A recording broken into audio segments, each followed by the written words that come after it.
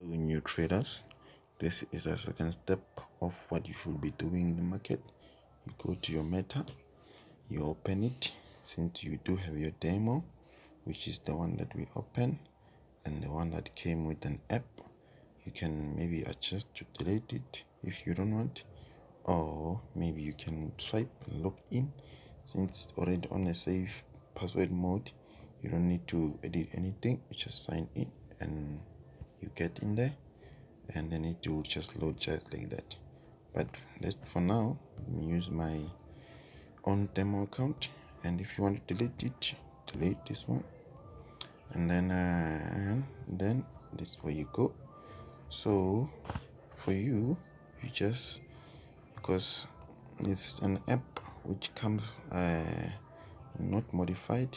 When you want to modify it it's very simple if you want to get the chat let me say just for in case uh, let's say things are like this and then you just not allowed to go this side. Just tap and hold and then you wait and then you drag like this so that you can have the space in here.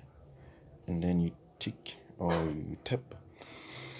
And then um, you remove this RSI you just go to this field here on this F and then you just tap the, the, the, the pin there and then you tick the relative strength index and then you delete.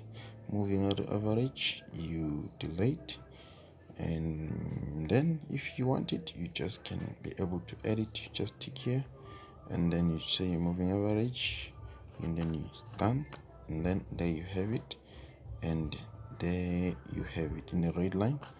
And then for now just delete because I don't need any indicator.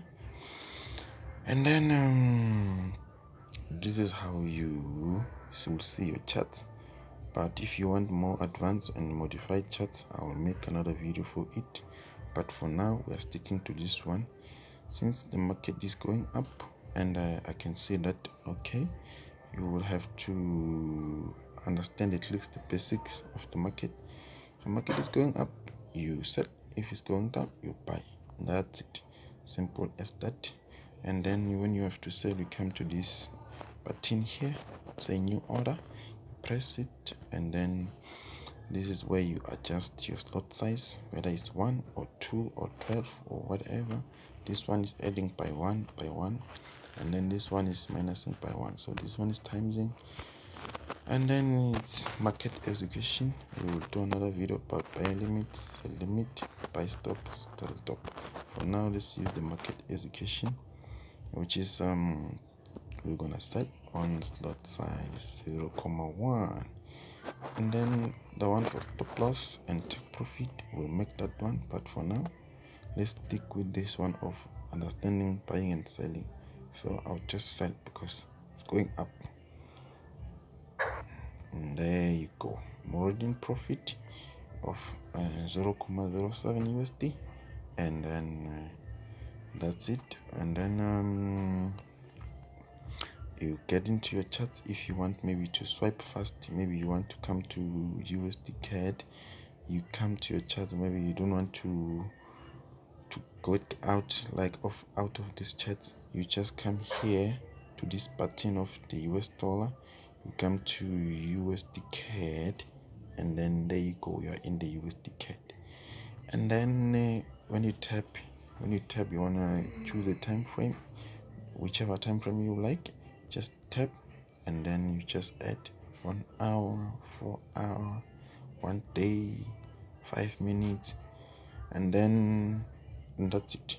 For checking or maybe adding some lines or whatever you want to add fibonacci retracement everything that you want to add in the chart you just tap and then come to this icon here and then choose whichever line you liked. For now I'll just put the trend line for an example. And then if you want to edit it because it's so small that you, you cannot see it you can adjust it by tapping and holding and then come to this pencil over here and then you can adjust the pixel so that it can grow it can be big.